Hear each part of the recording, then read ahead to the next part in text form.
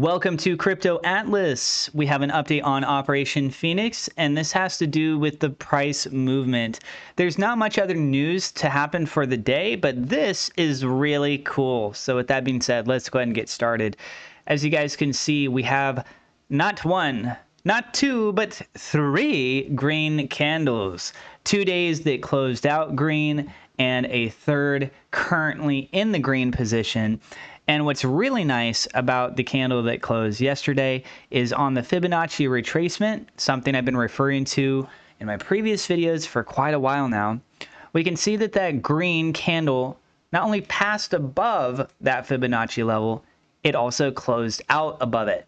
So this is suggestive of a trend formation. This is suggestive of a new level of support. And typically you want to have at least two instances, ideally three instances to form a trend. Well, what I'm looking at here is on April 6th, there was one instance of it passing above that Fibonacci level.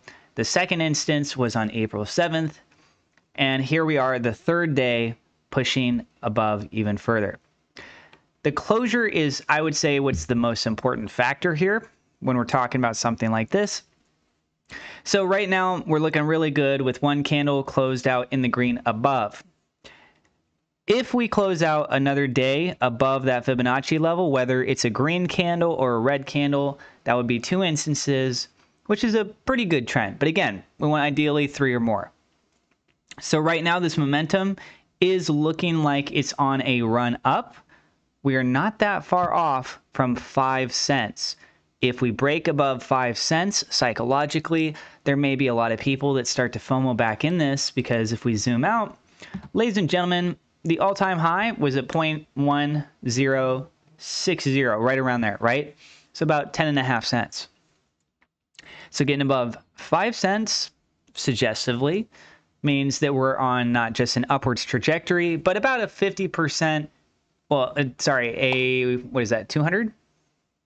I'm a bit tired. It's a 2x. Okay? It's a 2x from there to get to the all time high. I'm actually really tired, to be honest with you guys.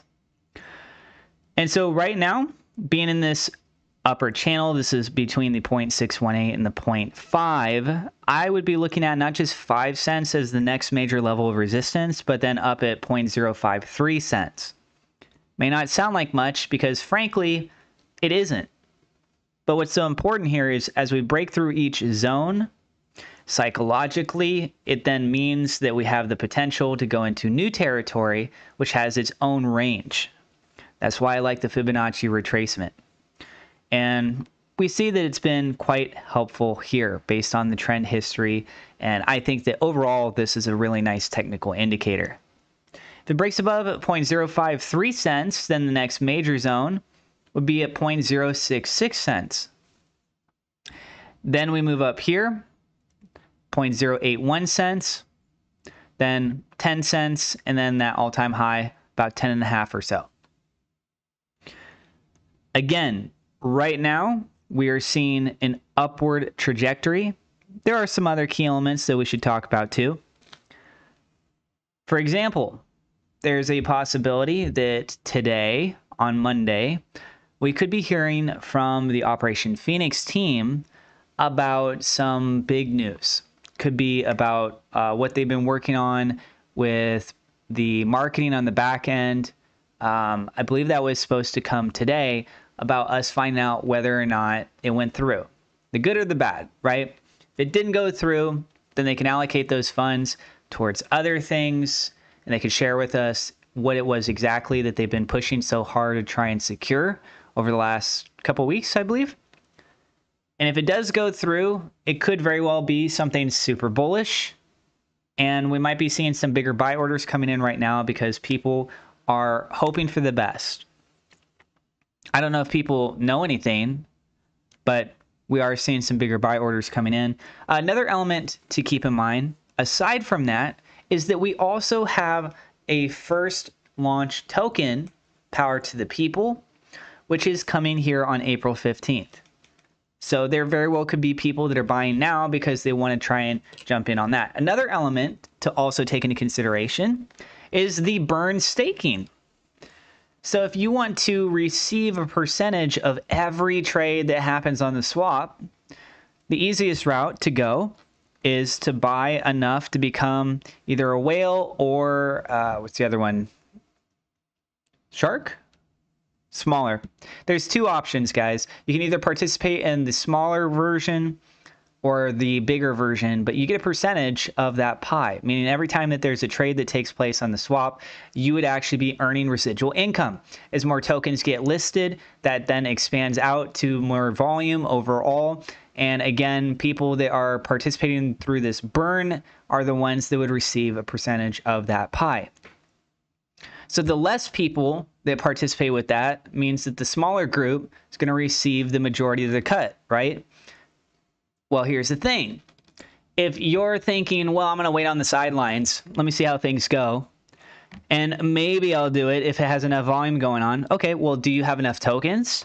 Because if you want to become a whale at a later point in time, but Operation Phoenix token is already skyrocketing, you're going to have to spend a lot more capital if you don't have those tokens to actually participate in that. So some people may very well be like, you know what? I'm going to go ahead, jump in right now buy enough tokens, become a whale, then go ahead and participate in the burn staking for that. I believe it's 200,000 tokens is a minimum requirement to be a part of that.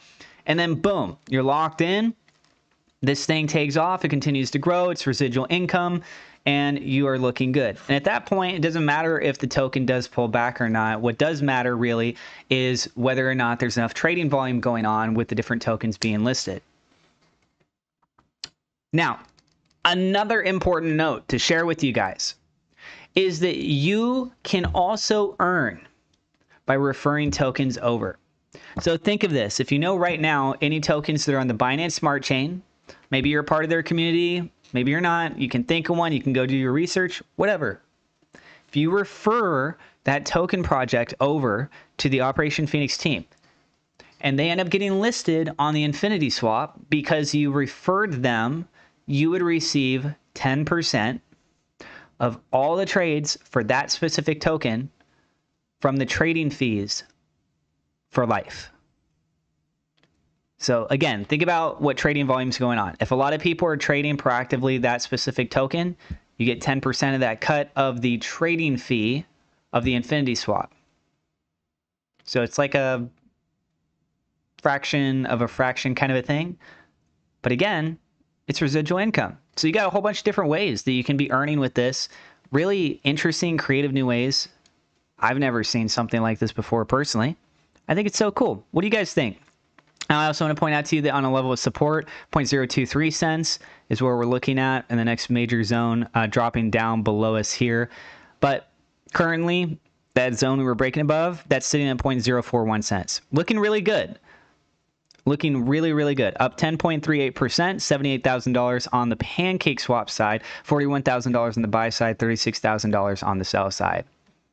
Day over day seems like we typically will see pretty close to the same range. There's a whole bunch of buys that come in. There's a whole bunch of sells that come in as well. But guys, if enough momentum carries on with this, I would not be surprised to see the sell volume start to dry up as a lot of the buy pressure just causes this thing to keep on rolling. Now, looking over on the Twitter side, it's above 2,000 followers. Again, it's at 2,027. Seems like it jumped quite a bit. So I may have missed if there was something that happened from a marketing standpoint. I'm a little bit worried because we did pass 2,000 followers recently, and then the next day or so, I saw that there was a pullback and it was below 2,000 again. So hopefully, fingers crossed, this is actually good now, and we can continue the momentum going up.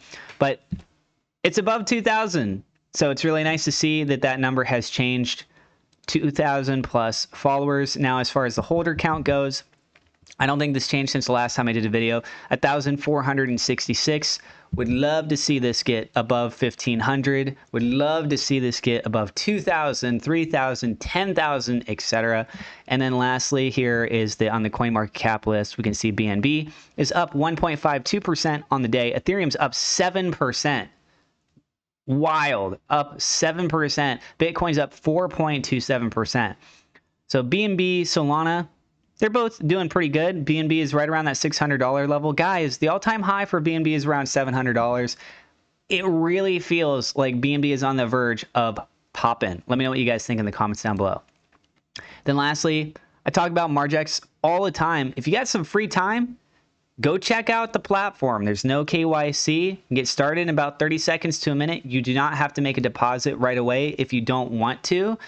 But if you guys do, you guys participate with it, use my referral link, you could get up to $10,000 in bonuses.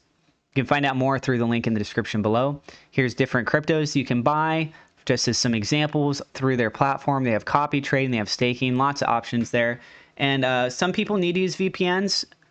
A lot of people don't. It is available in certain regions. It just depends for you. And that's what I got for you guys in this video. You can also check out HG Access, HG Access if I could say it right. That's through Patreon. If you guys want to go ahead and research this a little bit more, be a part of that exclusive trading group, that's in the description down below. That's what I got for you guys in this video. Don't forget to hit subscribe, hit that thumbs up, like button. Thank you so much to my personal Patreon supporters. Double shout out thank you to Victor Vegas and Worlds of Rizvi for being higher level patrons. Thank you to my YouTube members for your support as well. This video became a little bit longer than I thought. But you know what? I love you guys. God bless. We'll see you in the next episode.